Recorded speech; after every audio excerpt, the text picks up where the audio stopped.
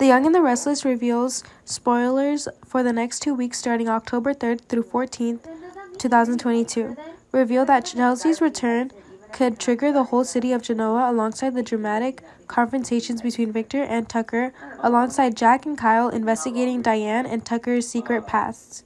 Michael will have a new mission for the investigation of Tucker's past. Victor will give Michael a mysterious mission. With Nate, he will want to confess to someone. What will he confess? Meanwhile, Ashley will be uh, apprehensive about how to handle a situation involving Tucker. The audience is also curious about the appeal of Tucker's appearance.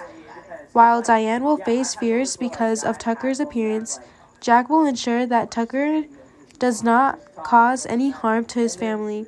His family. After that, Victor will have a confrontation with Tucker. So it is assumed that his return will inevitably trigger an- the anger of the people of Genoa. Speaking of Tucker, he has a not so good history with a few Abbotts and Newmans in the past. Elsewhere, Nikki and Phyllis will join the dots and uncover Diane's connection to Tucker. Nikki also seemed curious about how Tucker's past might provide evidence for Newman. Victor will have some mysterious mission to give to Michael. There will be secrets about Tucker's prison sentence discovered by Michael.